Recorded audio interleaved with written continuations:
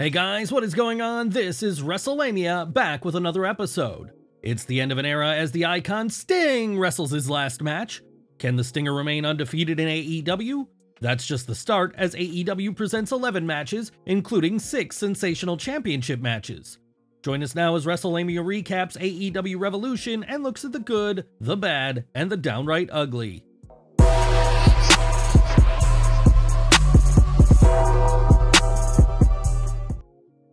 Starting with the Zero Hour pre show. 12 man tag team match. The Bang Bang Scissor Gang, Max Caster, Anthony Bowens, Billy Gunn, Austin Gunn, Colten Gunn, and Jay White, versus Jeff Jarrett, Satnam Singh, Jay Lethal, Willie Mack, and Private Party, Isiah Kassidy and Marq Quen, with Sanjay Dutt and Karen Jarrett. A well-placed match that sees the babyfaces try to deal with the monstrous Satnam Singh and succeed thanks to some slick teamwork. It's easy pickings after this as Jay White hits the switchblade on Willie Mack for the pinfall. Your winners, the Bang Bang Scissors Gang. Backstage, Orange Cassidy tells best friends he doesn't want them getting involved. A hype video airs for the return of Pac. Julia Hart and Skye Blue versus Kris Statlander and Willow Nightingale with Stokely Hathaway. Good teamwork by both teams makes for an entertaining match, however the sheer power of Willow Nightingale prevails as she powerbombs Skye Blue, getting the 1, 2, 3. Your winners, Kris Statlander and Willow Nightingale. A hype video airs celebrating Sting's magnificent career. On the main show, the TNT Championship match, Christian Cage with Killswitch and Mother Wayne and the prodigy Nick Wayne defends against Daniel Garcia. Garcia keeps his head above water for much of the match, but the presence of the patriarchy catches up. Killswitch hits a chokeslam while the referee is distracted by Christian's entourage.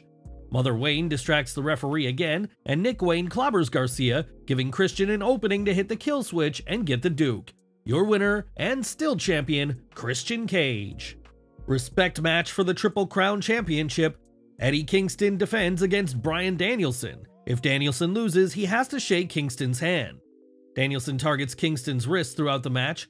The American Dragon seemingly tries every strike and submission, but Kingston absorbs it all like a sponge before unloading with pure power, including a lariat and powerbomb for the pinfall victory. Your winner and still champion, Eddie Kingston. After the match, Danielson teases he won't shake Kingston's hand, but he does, raising his arm and bowing before him. All-Star Scramble match winner gets a future AEW World Championship match. Chris Jericho versus Wardlow versus Powerhouse Hobbs versus Lance Archer versus Hook versus Brian Cage versus Magnus versus Dante Martin. The big boys join forces and throw out four of their opponents before it's a pose down, followed by a battle of beef between Hobbs, Archer, Cage, and Wardlow. This match sees power versus speed as all eight competitors wear each other down until only Wardlow and Dante Martin remain.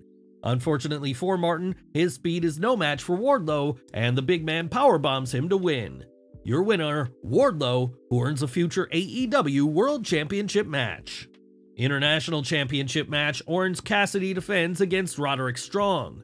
The story of this match is that Orange Cassidy is barely cleared to compete thanks to injured ribs, an injury Roderick Strong capitalizes on at every opportunity, which pays off when he hits the end of Heartache and covers OC to become the new international champion. Your winner and new international champion, Roderick Strong.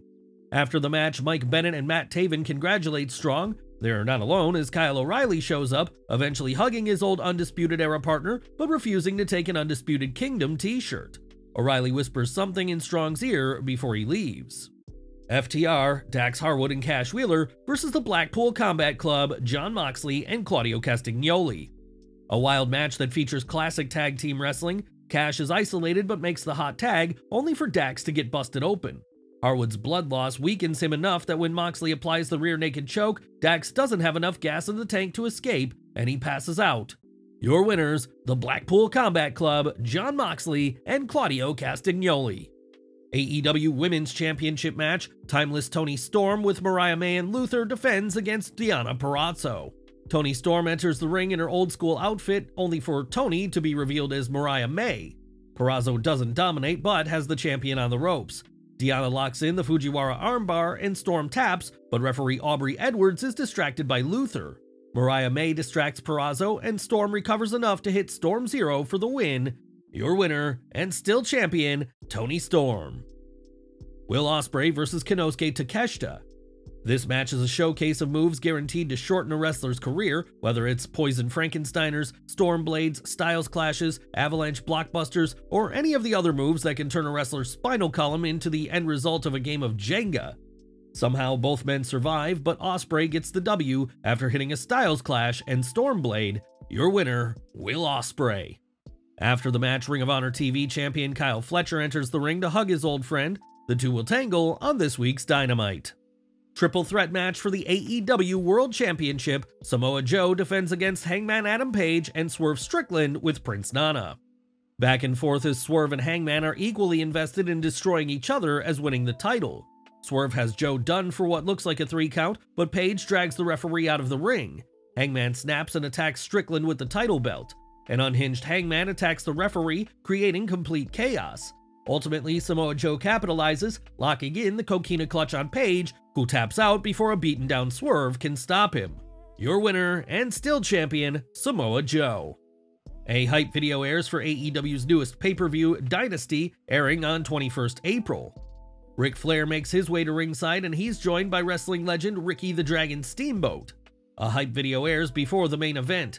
Sting's classic entrance music plays as his sons emerge on the stage, one dressed like classic Sting and the other in late era Sting mode. Tornado Tag Team Rules match for the AEW World Tag Team Championship. Sting and Darby Allin, with Ric Flair, defend against the Young Bucks, Nicholas and Matthew Jackson. Sting and Darby attack the Bucks right off the bat, delivering multiple Stinger splashes. Sting's sons get in on the action too before leaving Papa Sting and Darby to continue. The Young Bucks isolate Sting and Darby, neutralizing Darby after putting him through a sheet of glass. Sting is in trouble as the Bucks double team him. Ricky Steamboat tries to stop the Bucks from using the tag belt, but the Bucks take him out with a super kick party. Ric Flair enters the ring and plants himself on Sting's body, giving Sting time to recover as the Bucks knock Flair out of the ring. The Bucks continue pummeling Sting, but he continues getting up. Finally, Darby rejoins the match, turning the tide as Sting locks in the Scorpion Deathlock for the submission win.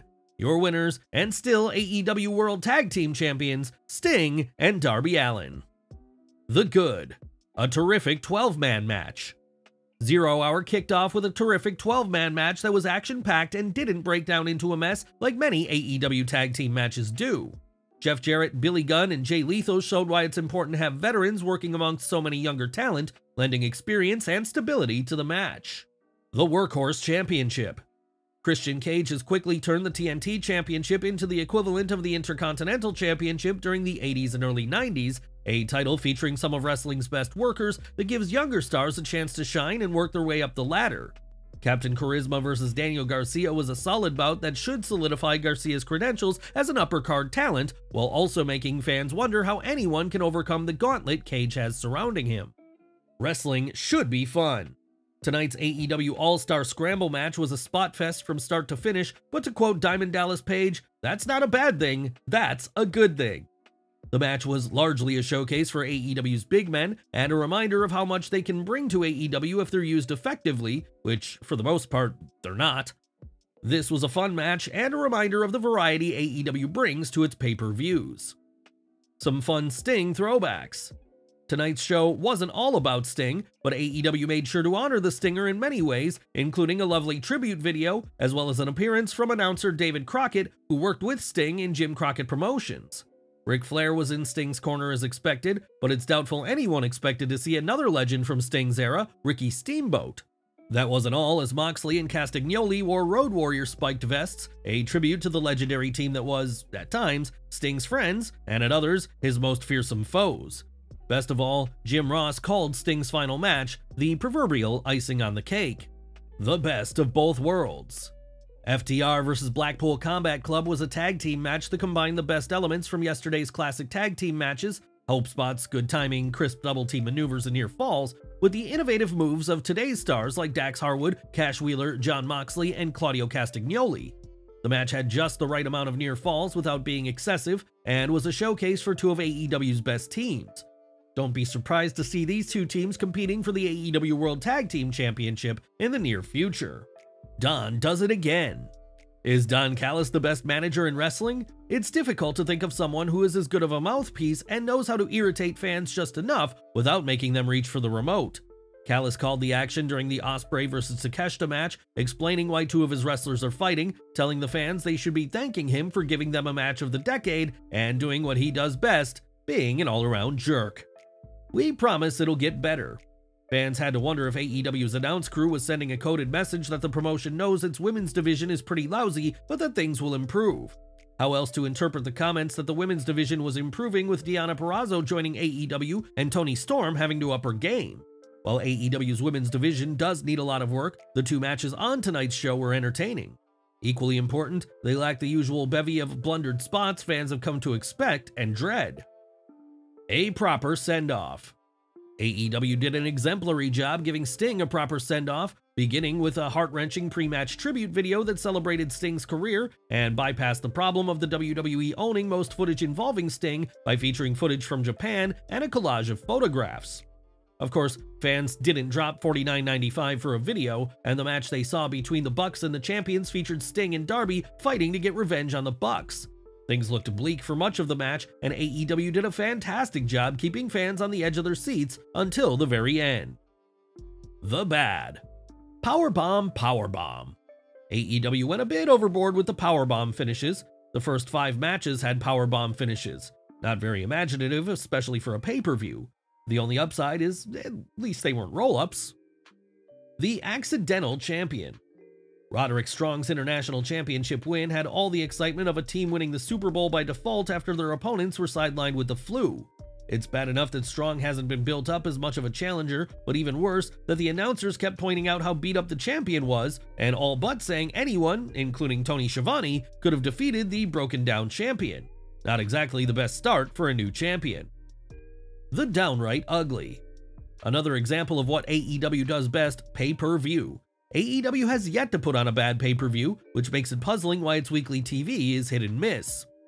Well guys, there you have it, Wrestlelamia's look at AEW Revolution and our exclusive analysis of the good, the bad, and the downright ugly. What did you think of the show? Be sure to leave your comments, and don't forget to subscribe to our channel, follow us on Instagram and X, and we'll see you next time for some more wrestling content.